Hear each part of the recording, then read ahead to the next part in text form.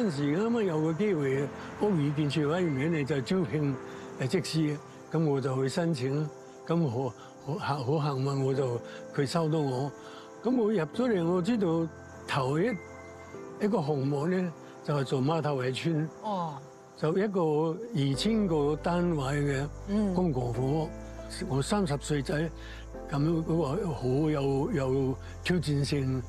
同埋好有意義嘅嘅工作啦，咁我就由由第一步我就入咗嚟，好開心啦。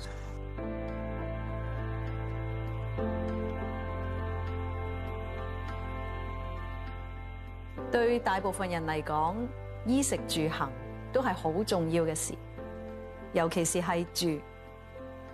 公營房屋發展咗超過半個世紀。房委會都成立咗五十年啦，超過三成嘅家庭都係住喺公屋裏面。香港一個咁細嘅地方，要令到每個人都能夠安居，真係談何容易。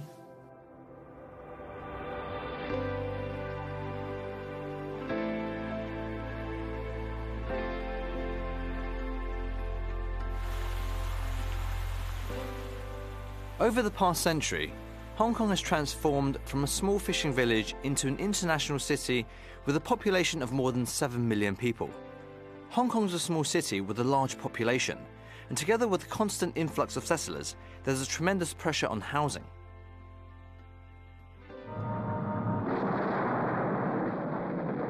With Japan's unconditional surrender. After the end of the Second World War, a large number of residents who had fled Hong Kong returned.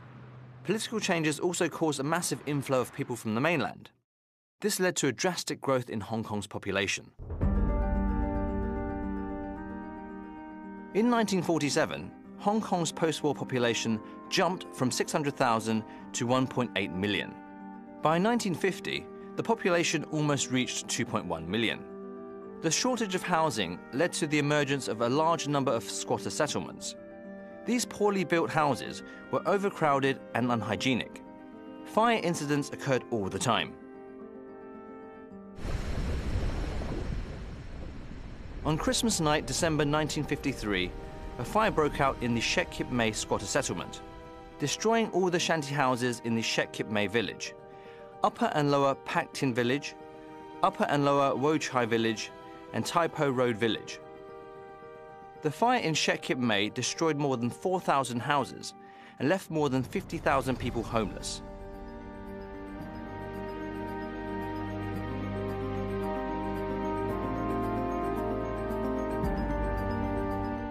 The chief architect of the Works Bureau at the time, Mr. Alec Michael John Wright, said, The first priority was to give immediate help to those who had lost everything. This was followed by the planning and construction of new buildings so that they could be rehoused. 大火就喺十二月廿五號啦。四日之後，港督會同行政局咧就決定咗，除咗為咗要改善木屋誒區寮屋區嘅環境之外咧，就係、第一次決定就係用政府嘅公帑嚟到為香港市民嚟到為起屋嘅。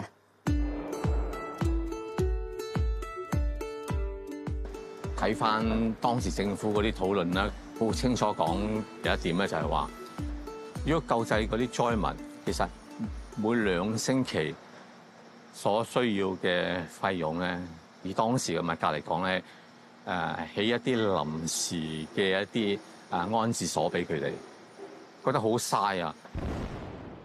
In the end, the Emergency Subcommittee on Resettlement decided to set up a temporary resettlement department to follow up on all matters relating to the prevention of unauthorized building works, the clearance and resettlement of shantytowns. The subcommittee further recommended that multi-storey buildings should be built for the resettlement and they should be built with taxpayers' money. 但喺嗰啲七層沙士區之前咧，其實有一段時期咧，當時公務局長咧提出咧就係起一啲好簡易嘅平房，暫時安置嗰啲災民。呢、個咧就係後來我哋叫做爆靈平房啊。包零平房就係嗰陣時係公務局局長個名嚟嘅，兩層到三層高啦，背靠背嘅單位，大約係十七個單位一層咧。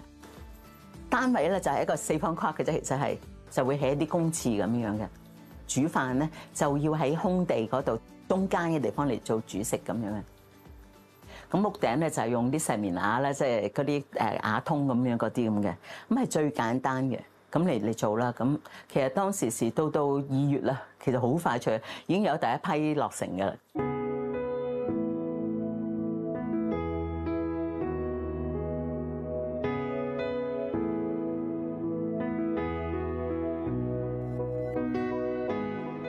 啊，當然百零平方都係啊兩層嘅，其實係啊，咁亦都會好佔嘅地方好多啦。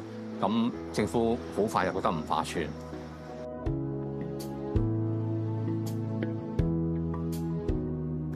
嗰陣時咧，開始起呢個百零平房嘅時候咧，建築喺度籌劃緊一啲係叫做多層大廈嘅實驗，因為橫掂起得兩層、三層啦，不如起高啲。其實係大火之後半個月度咧，二月初咧就已經有晒成套積㗎啦，就係呢個嘅，就係我哋而家好熟悉嘅誒誒嗰啲細字大廈一型嚟嘅。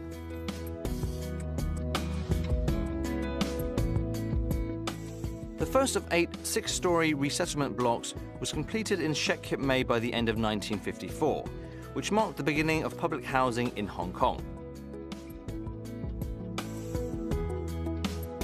In 1954, the Resettlement Department was established to manage the multi-story resettlement areas, developed as a result of the Shek Kip Mei fire in 1953. Between 1954 and 1975, a total of 25 resettlement areas were developed. There were seven types of buildings, the first two types of which were only seven stories high, and were commonly known as the seven-story blocks. 喺山坡下边咧，咁我我哋而家见到啊有石硤尾村啦，咁呢啲系比较近期嘅。十几年前咁其实都仲有好多啲旧式或者我哋叫一型嘅徙置区嘅。如果我哋睇翻一啲港督佢嘅报告都有提过，其实五十年代嘅香港政府佢冇办法 啊斷定呢新嚟港嘅移民或者難民，其實佢會唔會喺香港生活咧？咁啊，所以當時最早設計嗰啲徙置嘅房咧，第一就好細，一百二十尺；第二咧就佢冇考慮家庭嘅需要嘅，因為佢諗住可能會好快就搬走啊嘛，嗰啲人。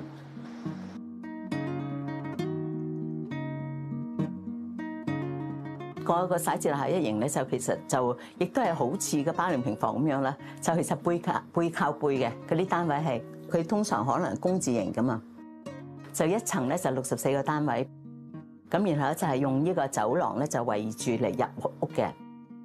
咁喺中間嗰個位咧，就係其實所有啲公用設施啦，就係譬如誒男女廁所各有三格，有個叫洗澡間，但係要記住喎，嗰陣時啲洗澡間其實冇水喎。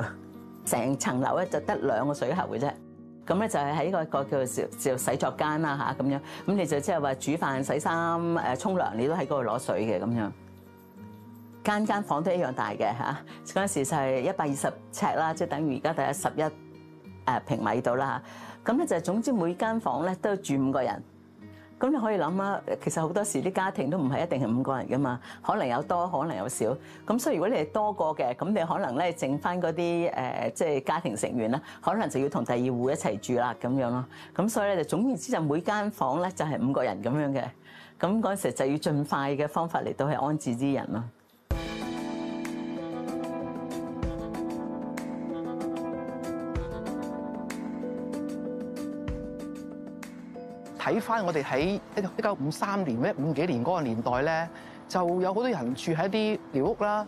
咁跟住好啦，我哋起咗啲大廈俾佢住咯。咁地下嗰層咧就係零售設施嚟嘅，有啲鋪頭嘅。天台咧就係學校嚟嘅。咁小朋友就喺天台嗰度咧就翻學。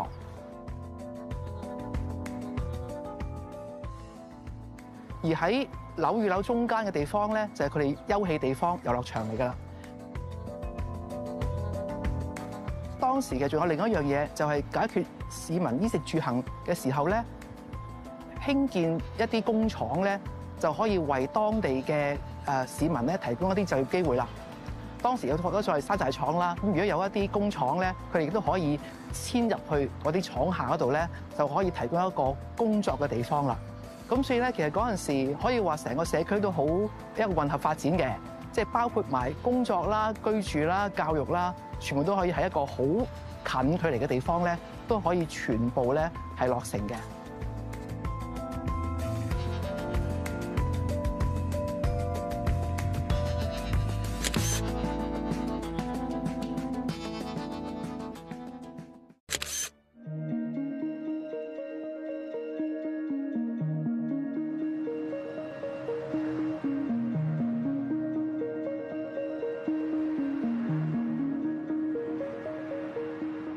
Housing Authority industrial estates were also a part of public housing in Hong Kong during this time.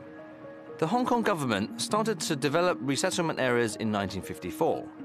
In order to attract small scale businesses of various trades, commonly known as cottage industries, which were affected by the clearance of shanty towns, the Resettlement Department, later renamed as the Housing Authority, started to develop industrial estates. 五六十年代咧， 好多山寨廠啊喺山邊噶嘛，佢哋住係住喺嗰度，做嘢就做喺嗰度。清拆嗰個山邊寮屋區或者木屋區嘅時候，咁有部分咧其實咧係做緊工業生產嘅，其實啲寮屋居民。徙置事務處咧考慮到山寨廠咧，即係佢都有喺香港經濟入邊咧，或者工業發展咧有佢嘅作用，所以佢清拆嘅時候咧，佢哋都會俾佢上樓，但係咧就係唔可以一個過夜。係純係工廠，就將嗰啲山寨廠咧遷去徙置大廈形式嘅一啲啊工廠大廈，咁就係咁樣嚟㗎啦。所以佢嗰個管理咧，佢唔佢由係由徙置事務處管理㗎。The first industrial estate was the Changsha Wan estate, which was completed in 1957. Later, the resettlement department constructed more of these factory buildings in Chai Wan, Kowloon, and New Territories West. The design of the early estates was similar to that of these seven story blocks, which were in a H or I shape. The buildings varied from five to seven stories high, with no lifts nor separate toilets. 分层工厂大厦嘅设计其实系同一型一模一样嘅，只不过系咧嗰啲诶，即系个单位个大大少少， 咁然後咧中間嗰度就唔係話誒公共廁所浴室啦，就係、一個誒、車道啦，咁你就可以推貨啊，咁樣方便啲嘅。工字形嘅兩邊咧就可以愛嚟泊車啊咁樣樣嘅。咁所以其實呢個亦都係愛嚟解決，即係話除咗住屋問題，當時時期就業都係一個好重要嘅一個問題咯。咁我諗喺第二度地方咧，亦都比較少有嘅呢個分層工廠大廈，即係着個單位嚟租出去咁樣樣嘅。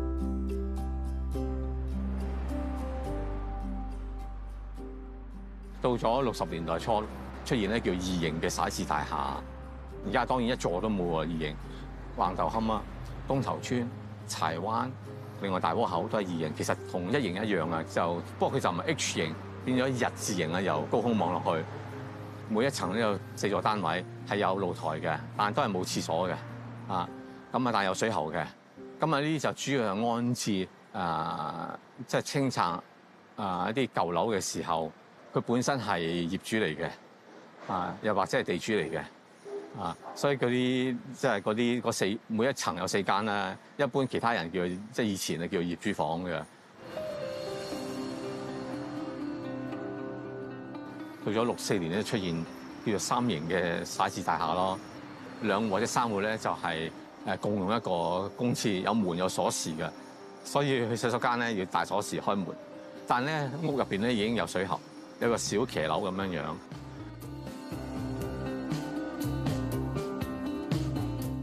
到六十年代嘅時候咧，政府亦都做咗一個檢討咧，就重新就檢視下呢個嘅係徙置大廈嗰陣時，誒已經有七十萬人到係上咗上樓啦，就我哋叫做嚇。咁但係咧好遺憾咧，其實仲有六十萬人咧就住喺木屋度嘅。六十萬人講緊係咩咧？其實係人口嘅二十個 percent。即係百分之二十嘅人仲係住喺木屋，咁其實呢個都仲唔係好理想啊！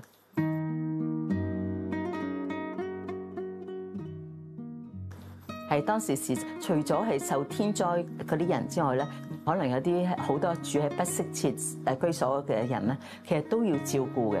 咁所以咧嗰陣時咧，開啟呢一個嘅叫政府廉租屋嘅計劃。就係俾一啲即係可能係收入唔多過三百蚊啦，當時時三百蚊嘅人嚟嚟申請嘅。咁所以咧就其實喺到到嗰啲嘅誒徙置大廈第六營咧，咁咧就係可以咧就係係其實佢嗰個就係愛嚟咗有部分咧，我哋做咗呢個嘅政府廉租屋嘅。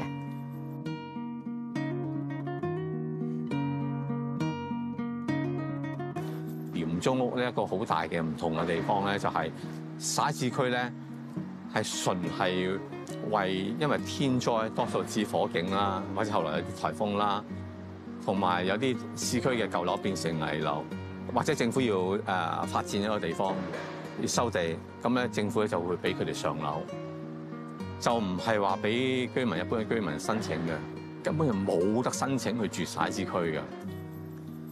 咁啊，政府喺六二年咧就誒提出廉租屋計劃啦，市民大眾一般就可以申請嘅。咁啊，但係咧其實因為佢數量好少啊，所以其實係非常之難嘅。另外咧，廉租屋其实咧大约有十五个 percent 度咧留翻俾一啲啊基层公务员去申请㗎。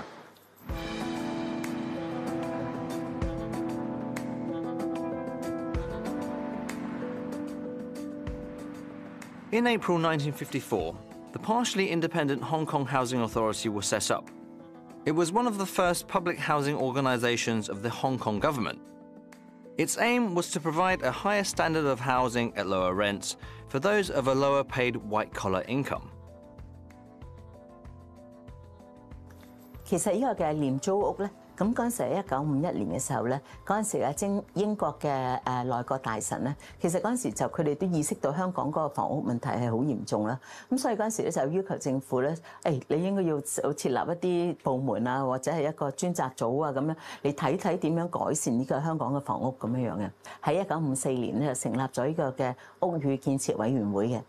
咁當時時咧，其實佢係一個嘅，你可以講係一個半私人機構咁樣樣嘅嘅運作啊。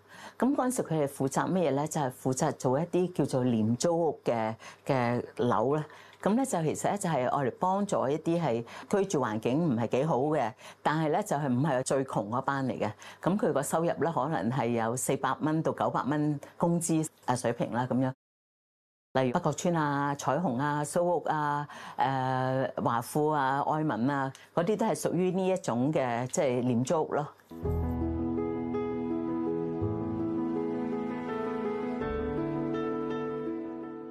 In the early days, low cost housing estates were designed by private architectural firms. It was not until the Housing Authority set up its own department that it began to design their own housing estates.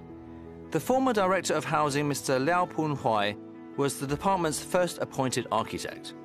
In 1960, Liao designed his first estate, the Ma Tao Wai Estate. 呢本咧就係房屋處嘅建築部門咧，由一九五幾年嘅當時嘅屋宇建設委員會誒興建嘅屋村嘅嘅記錄。第一個屋村咧就係北角村，跟住咧就西環村、蘇屋村同埋彩虹村。馬頭圍村就頭一個，即係我自己有有參與㗎。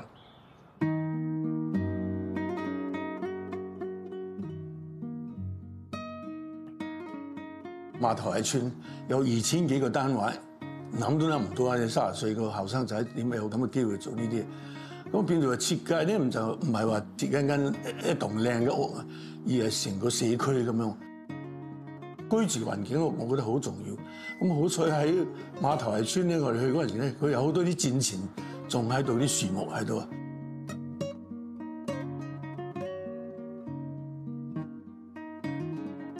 成個環境靚啦，啲樹蔭喺啲細路玩咧，係啊，啲老人家真係舒服好多啊！呢啲係保留嘅啊！呢啲保留到。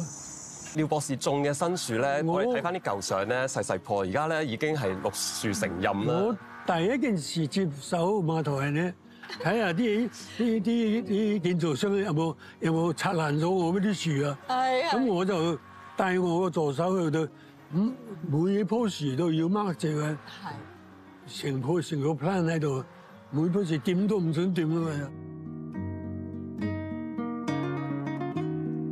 In the early 1950s, the government launched the resettlement program. Ten years later, half a million people had moved into resettlement blocks. But at the same time, more than 600,000 people were still living in shanty houses. The government realised that the squatter problem had not been eradicated by the resettlement programme. Adding to that, Hong Kong's industrial development was taking off. People's incomes were becoming more stable and demanded a better quality of life. In response, the government published a white paper in 1964 titled Review of Policies for Squatter Control, Resettlement and Government Low Cost Housing. This sped up the construction of resettlement areas and low cost housing. Resettlement areas were constructed on a larger scale with even taller buildings to meet the huge housing demand. The design of the estates also placed a greater emphasis on privacy and facilities for the tenants. Apart from a balcony which doubled as a kitchen, each household had its own plumbing and toilet. Also, the eligibility criteria for living in these estates had also been relaxed, with priority for resettlement given to residents of unsafe buildings or people affected by urban renewal. In addition, temporary housing areas were introduced where homeless people were allowed to set up temporary accommodation, which later evolved into resite areas.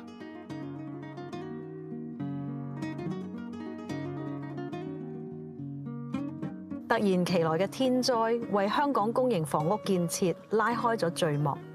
而随住城市快速发展，政府亦都要好好咁制定长远公营房屋策略，为急速增长嘅人口提供安居之所，亦都为香港日后嘅发展奠下咗良好嘅基石。